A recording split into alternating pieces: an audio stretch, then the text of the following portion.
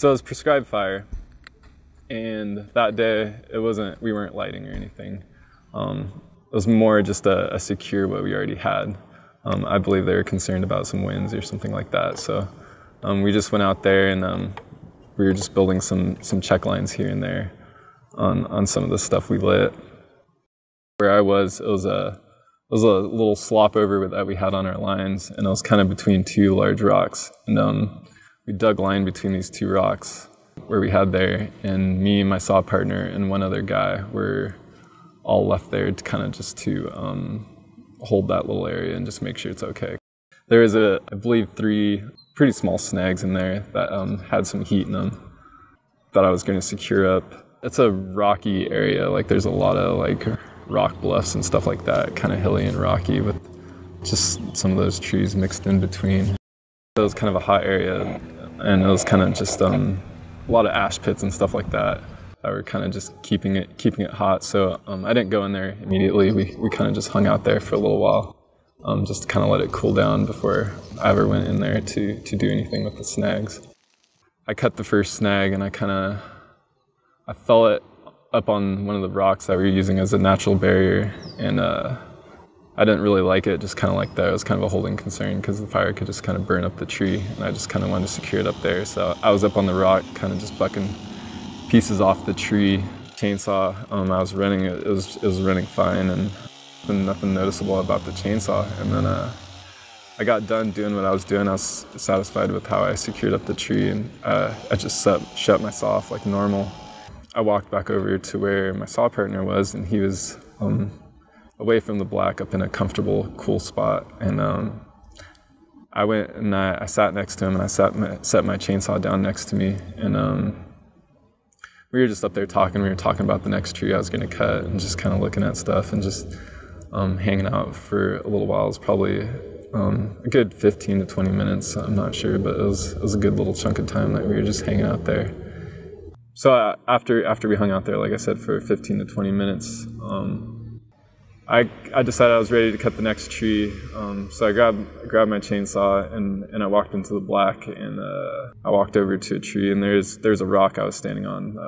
I was going to cut it from, and there's some some ash pits around me, and uh, there happened to be like a little a little piece of open flame just like right by kind of where I was standing, but uh, so I went in there and uh, I went to start my chainsaw and uh, I gave it a couple pulls and it it turned over, but it just kind of you know gargled for a second and then died, kind of like when you run out of gas. The first thing in in my chainsaw troubleshooting mind, you know, was like, hey, maybe I was over there cutting that a little longer than I thought I was, and maybe I used more gas than I thought I was. Maybe maybe I'm actually out of gas, and uh, my my first reaction to check that was just to kind of flip the saw over on the side on my hip and uh, pop the cap just to look inside to see see how much was in there. And uh, at that point is where um, it geysered on me, and it was uh, pretty two distinct, pretty geyser spurts that came out of my gas tank at that point. And uh, I I couldn't exactly tell you how high it got, but I mean it had to be over a foot above the tank. It was the biggest, the biggest one I've seen. I don't, I don't know why. I can explain to you why it was so volatile that time, but um, of all the ones I've seen, yeah, that one was definitely the the most, the biggest one. I didn't catch on fire immediately. Like I had, I had enough time to look at it and kind of have a oh crap moment, if you will, with what happened because I, I knew that.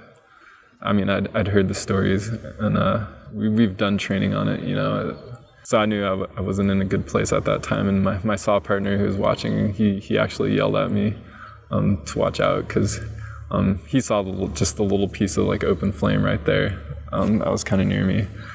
At that point, um, I ignited, if you will. Kind of sounds weird to say that, but um, I caught fire and at first, like I didn't have a dra- dramatic reaction to that. I dropped the chainsaw first off, but uh, kind of just patted at my shoulder, like trying to put it out, and uh, it just got bigger. I want to say is like my arm, kind of this whole right side of my body is kind of kind of went up in flame, and uh, I mean it's kind of hard to tell. It's like kind of burning off the back of me. At that point, I kind of I kind of realized I was in more more of a trouble, and uh, I didn't really have a good spot to go because of all the hot ash pits around me, and I was aware of that I was like, man, I just don't have a good good spot. So uh, I made a beeline for the hand line. We dug stuntman style with some some flames coming off me, and uh, once I hit the hand line, I just uh, I dropped to the ground and just rolled over, and my my saw partner, good dude that he is, jumped on top of me and threw some dirt on me and um, put me out. Even after I got myself out, I I was pretty calm about the whole situation. Um, I just I got the radio from my saw partner and I just made the notifications to my supervisor. And uh, I knew I was pretty badly burned. Um, well, you could obviously just see the skin hanging off your arm. I knew my stomach was burned, but nobody nobody else could tell that because my clothes were completely fine. There's no sign really that they caught fire. Um, I'm still not sure why that is like I was wearing my gloves and none of my hands got burned, and um, you could actually see the kind of the line from exactly where my gloves were, and I knew I had to get out of there, and I just figured like the the sooner better, the better, rather than waiting, and I just I got up and I just started walking out. It was probably a quarter mile or so, not real far up the hill. By this point, I had some people come, some EMTs, and uh, check me out. And I was like, nah, I'm just gonna keep walking. Like, I'm just gonna get out of here. Like, you guys can't do anything for me. I just need to go to a hospital. Somebody had driven the supe truck down a ways, and um, they just loaded me up in the back of the supe truck and drove me up to where the helicopter was gonna fly me to uh, to a burn center. So. It, it, all happened pretty quick. Um, from when I got burned to, to actually when I got to the hospital was about an hour. So.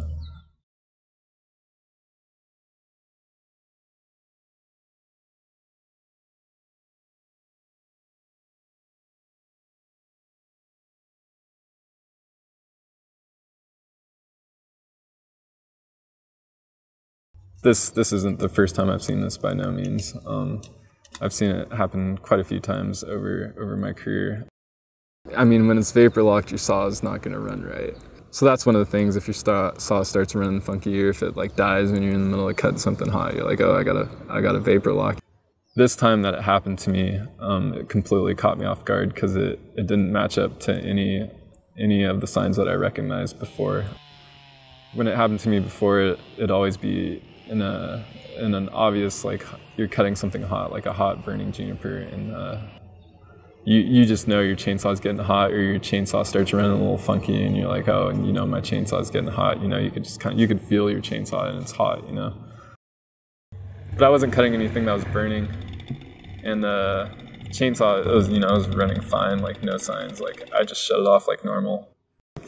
One of the ways they say, oh, you're you're supposed to to clear a, a vapor lock or whatever is you let your saw sit there for you know 15 minutes. And in my mind my saw just sitting there for that 15 minutes i didn't think there was a chance of that really happening in my mind. If i had even the thought that uh, my saw would have geysered i obviously wouldn't have opened my cap where i did but like i said i had nothing to make me believe that it would happen yeah, and that's why I feel like um, now I, I couldn't really I couldn't really predict it. Um, I mean, I was surprised once. I could probably be surprised again. The advice I'd give is, yeah, just. I mean, if you're in a situation where you feel like your fuel could catch you on fire by opening it, I just wouldn't do it. It's as simple as that. You got a flammable substance. You um, you want to separate it from like a heat source. Because I mean, there's ways you could check your, your fuel level without ever opening your tank. You could literally hold your saw up and look. And sometimes it's kind of hard to see because the saws get dirty and whatnot, but you can definitely see if there's fuel in there or not. If I'm in the black and you know, I'm gonna look through my tank to look to see at my gas level instead of opening the cap, you know? And if I if I need to go open my cap, I'm gonna take it to a safe spot to do that. And I never thought I would just, you know, get hurt by opening my fuel tank. You know, it's just not one of those things that um, you recognize that much as being like a major hazard. Um, and I still think it's kind of funny, you know, that, um, you know, of all the years, that's that's kind of what what put me in the hospital. Something as small and simple as that, you know. I definitely don't feel like I can predict it anymore. So I, I just don't think it's worth betting on when your tank's going to geyser or not, and just kind of treat it maybe like it's always always could geyser, and just kind of put yourself in a better place whenever whenever you're planning on opening the cap.